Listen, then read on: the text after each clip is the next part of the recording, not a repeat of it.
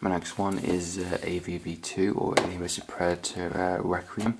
Now, a lot of people really don't like this movie, and I can't understand why.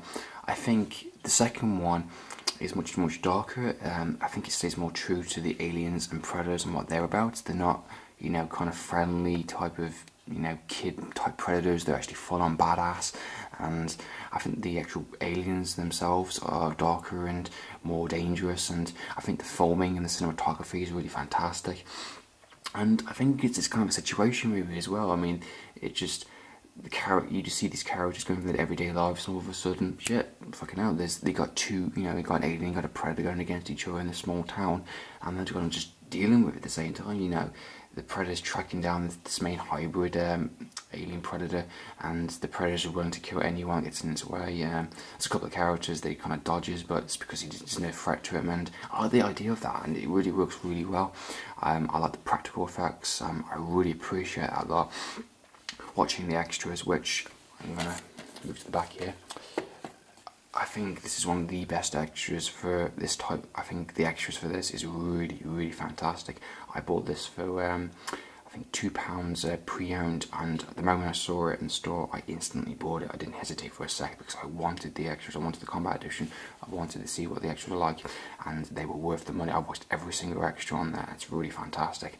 And the making of the Alien VP2, um, which it really stays true to the actual movies. They looked about all looked at all the Alien movies, all the Predator movies, with the best parts of the prosthetic work, and added in a couple of new ones. They used less CGI as physically possible obviously there's a couple of scenes where you see certain things, but um, I think it's really fantastic. The fight scene at the end that took a long, long time, you know, to get the guy in the suit and the whole sequence of it and all that. Um, really, really fantastic, and it stays true. And this is not this is really cool extra as well. It talks about the actual Predator movies and just you know how it links to this one. Just talking about you know has an actual Predator movie himself and talks about the Alien movies in a certain way. And it's there's a really good extra. It looks about the um, AVP2 science of the xenomorphs and AVP2 science of the hunters, which talks about if these creatures and aliens were an actual life today, how would they support it? You know, like aliens, the aliens themselves have acid for blood. You know, actually looking at a scientific point of view, how would they actually have blood in the system? You know, and how is it as a, how as a creature would they actually manage to be moving around? It's interesting theory, definitely. I, I really enjoy this movie more than the first one ever was. There's just parts, but the first one I just don't like. I think it just feels, and it just feels like a like a 12A type thing. You know, uh, it just doesn't work for me. I've watched it enough times and I just don't enjoy it. I've watched this one, I thoroughly enjoy it.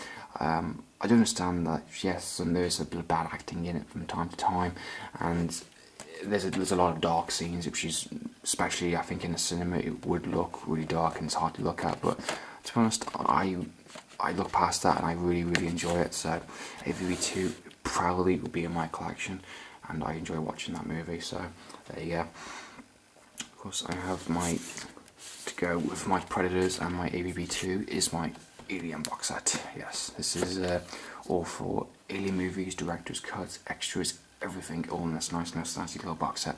I picked this up uh, at Easter time, uh, I think many, many, many years ago. I think this was a present, I think. Uh, no, I think it was a gift, an Easter gift. Um, I got this and I got um, Alien vs Predator on DVD, the extended version at the same time.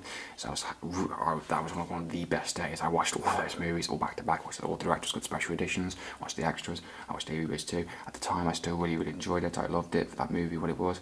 As a kid, these movies are really, really fantastic, and I enjoy watching them. Now, I understand that the actual Blu-ray um, has come out and it's meant to be better picture and all that, and I agree, I've seen the quality and I will be in that at some point, but I like the packaging more, I like the actual way it look, and I've had this for so many years, and I, am attached to this box set, so I think um, I would only have the actual aliens alien films on blu-ray if it was like ridiculously cheap or is it maybe a birthday gift or christmas gift so you know. I'm happy with the dvd quality at the moment. I don't have to convert everything to blu-ray so at the meantime i'm going to stick to the alien dvd box set. Of course we have um, avatar. We have the extended collector's edition cup. Over there the extended collector's edition, which is uh, gives you both versions of the actually gives you three versions of the movie theatrical cut. The um, the slightly uh, um, longer versions with some scenes taken out, and the actual full-on extended cut with everything in there, literally the old, the, the longest version possible. Which I prefer the extended cut because uh, it shows you um, start the movie uh, present day Earth. It's kind of like a Blade Runner type thing. It really, really works well. I, I like the actual futuristic of the Earth, I like the style of it. Cinematography wise, it's fantastic. The technology is really fantastic. And the only thing I have about this thing about this film is probably the storyline's a bit weak.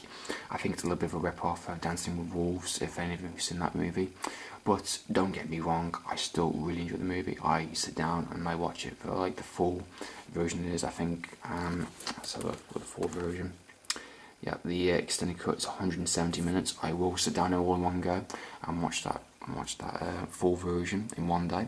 I'm very happy to do that, and I do enjoy this movie. It, it is really good, and the acting is great, and cinematography-wise, it's really fantastic. Uh, James Cameron did, again, yet again, did another great job, and I think it is one of the biggest movies um, of that year. Pretty much, I watched it in cinemas in 3D, and it actually was pretty good, pretty good in 3D. Added extra depth and all that, and I was very, very happy with this 3D set. One thing I was pissed about was the releasing it just you know bare bones edition, just the actual version, no extras, just the standard edition, and then releasing the full extended version with all the extras. I think that was a really fucking asshole, you know, kind of money making scheme, but that's you know DVDs and Blu-rays for you. the camera there.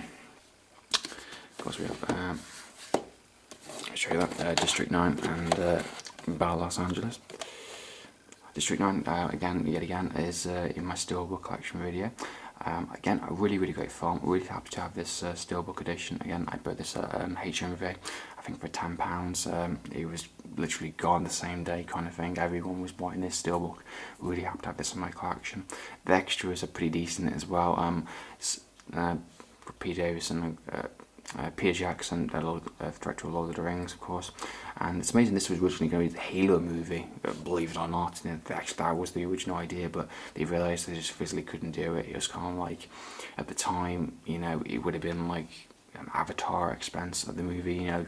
So maybe in the future we might see a Halo movie, but I'm very happy to have this District 9. I watched it in the cinemas and I fully enjoyed it. There's a lot of funny scenes, it's gritty, and it's a very interesting take on like um, we're the bad guys kind of thing in this movie. I, I, I love the idea of that. Like, we have a, an aliens, we just dump them in the just like District 9, we just treat them like shit and vacancy them, and just it's done really, really well. Um, we have another great movie here, uh, of Los Angeles, which, um, again, I watched at the cinema. I thought it was absolutely fantastic. I really enjoyed it. I watched it with mates, and I just I think it's a really good idea. Um, it's the point of view of the actual soldiers this time, and um, I think it's just really, really good. The acting is great. Um, the actual soldiers themselves, the mannerisms, the actual squads are realistic and done really, uh, really well. The extras talk about all the actual real things they did. They actually did a full-on like training course as actual uh, American soldiers would, and I think it stays true to what actual platoons would do, apart from some scenes which obviously for movie value, but I think the actual um, aliens themselves were original, and I think they weren't really that much of a bad idea. They're just they're after an actual resource that we have. We have um, liquidized um, CO2, and they use that as of course fuel and um, actual to live kind of thing. So they're a species that just need to conquer and invade and it's just you know not too similar from us really. I mean we conquer and invade other countries and and it's just kind of like a look at us and this could this is could be you know we could sympathise with this creature but of course we have to stop them and this movie is just really fantastic. It's really high speed, really good action scenes um, and it's just done really really well. Um, um, I really enjoyed this movie. I've watched this I think four or five times and I think it's just really really great. It's it just does something a little more different than other movies. So yeah, um, about Los Angeles. I had like conversations with mates about like how they could do um, maybe like a district London or something, uh, Battle London or something along those lines, or um, you know Battle France because they could. You know, so this is worldwide. They could do like another another you know point of view if if they wanted to. That's an idea there.